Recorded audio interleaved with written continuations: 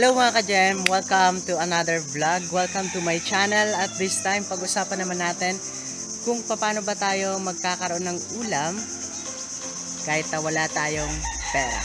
Dito sa province talagang sipag at syaga na yung puhunan mo para magkaroon ka ng makakain.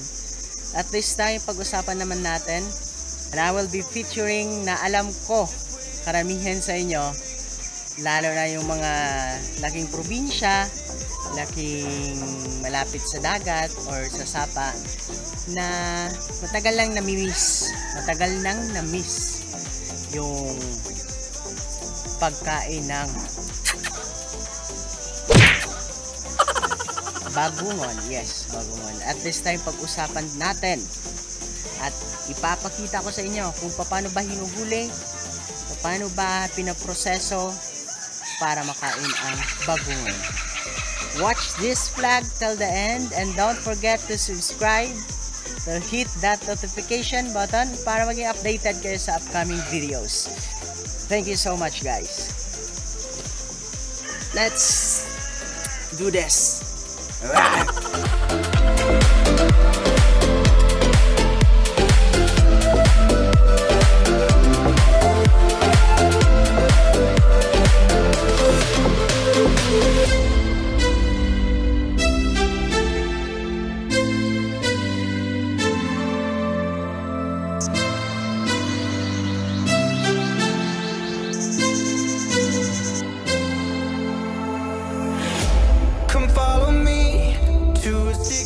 And kadalasang makikita yung mga bagungon sa mga ma- medyo maputik na part ng isang sapa gaya ng nasa baba. Mahirap silang hanapin minsan kasi lumulubog sila sa putik. Kaya kalaasan natin yung mga mata natin para yun po. There's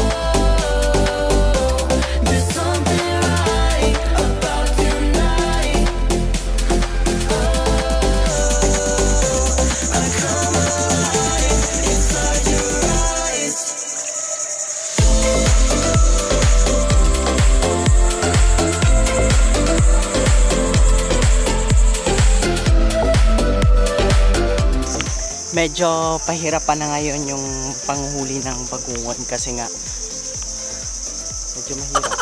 Lipat tayo ng pwesto para mas makahanap tayo ng bagungon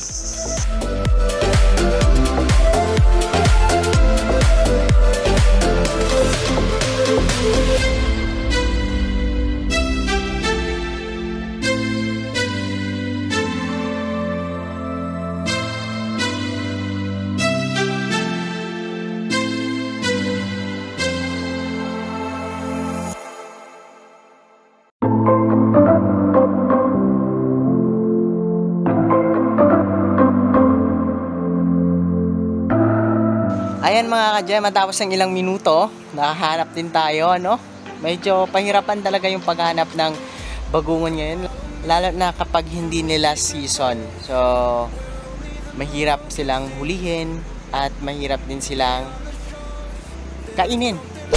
Mahirap din silang iluto. Kaya, ito, ah, may nakita ako dito. Watch nyo. Nagtatago siya sa taas.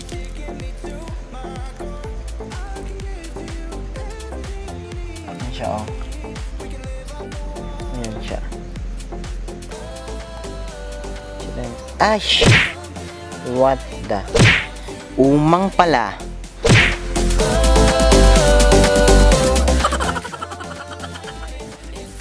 Iwasan natin yung mga umang. Umang pala to. Kala ko yun na nga eh. Oh my God, mga kachem, parang hindi bagungon yung ipagkakalob sa atin ng kalikasan. Hindi itong mga kabebe. Kabebe ba? Tuway, kung tawagin dito sa amin. Yan, kung makikita nyo. Yan, meron tayong dalawa. No? So, yan. Tuway. Ayan, isa po siya sa mga ah, kadalasang ginagamit or kinakain or sinasabaw. What? Sa mga nagwe-breastfeed feed na mga mother. Mainam po siya pang pagatas talaga sabi ng mga locals dito sa amin. Ayan, hindi niyan yung isa, buhay na buhay. Umihinga pa nga oh. Kaya lang yung nakakalungkot isipin talaga ay may mga plastic na kalat-kalat kahit saan. Tumalig kadikit lang sila. Dito yung isa. Ito yung isa. At nandito yung isa. Tsaka ka, kadikit niya yung nandito na humihinga pa. At siguro magkapatid yan. Ha? Kukunin na natin. Tara.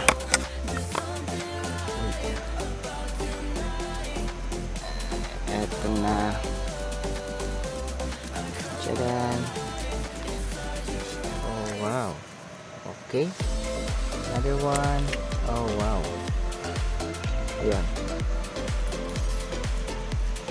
Tchadan. Bukasan natin.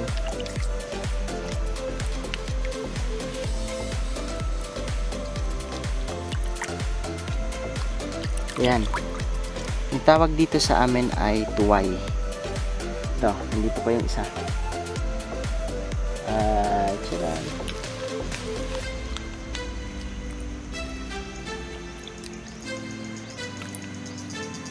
Medyo mga bata pa sila, no?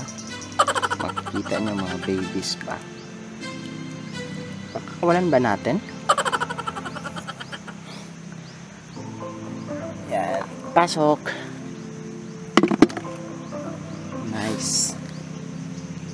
Maghahanap pa tayo dito kasi siguro may mga malapit pa dito.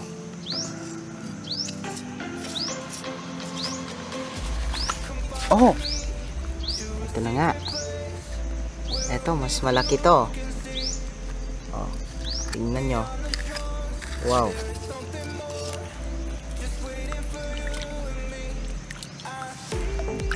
Tchadan! Nice.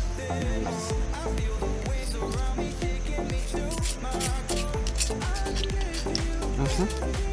Another one. OMG. Oh, nandito oh. Tumatago lang. Ito siguro yung nanay. Ang daming tuway.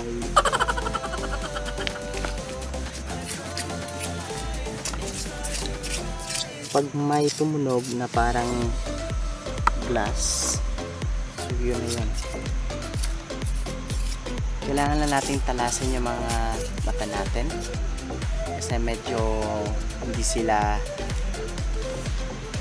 madaling makita. May kikita ako banda dito. Yan. Dito, oh, ito. Ito siya. Nice. Wow. Look at that.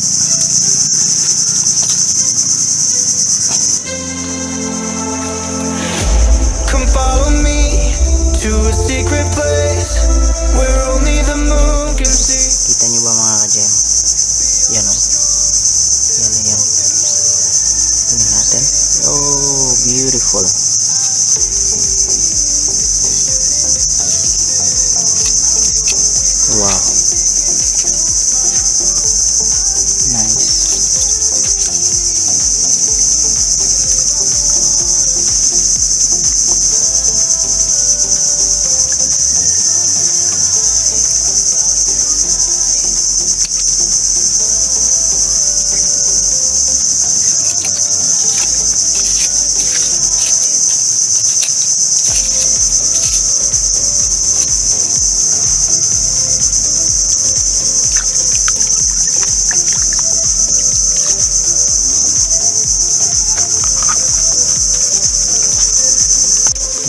pala sa likod ko. So,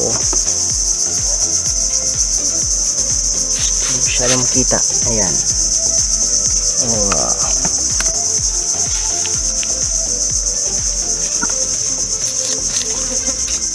Nice. Oh, wala pa.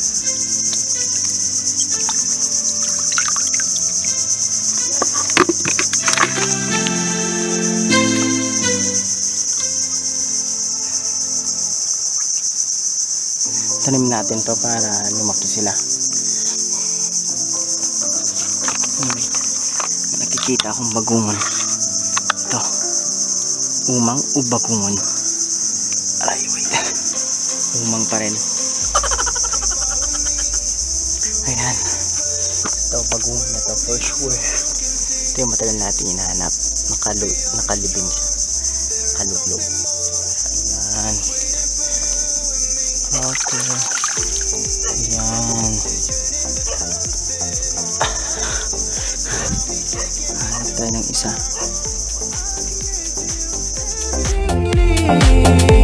We can live on the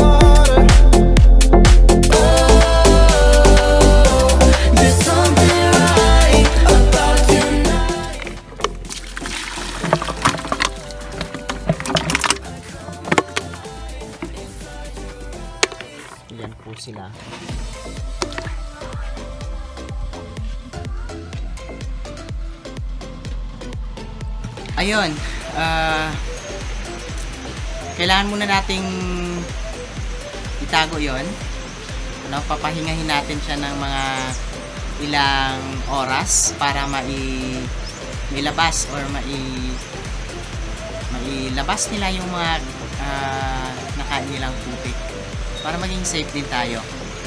Thank you so much guys. Meron tayong at least siguro mga sampo na kabebe at isang bagungunan talaga. Sorry. Sorry to disappoint you pero wala talaga eh. Minsan kasi yung nature, yung kalikasan natin, kinakailangan din nilang magpahinga. Kinakailangan nila mag-rest. Ano, para makaproduce naman ng another wave of uh, likas na yaman na sinasabi nga natin. Yan.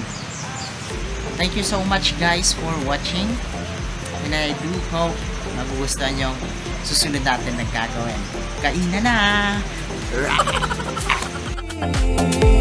We can live on the water.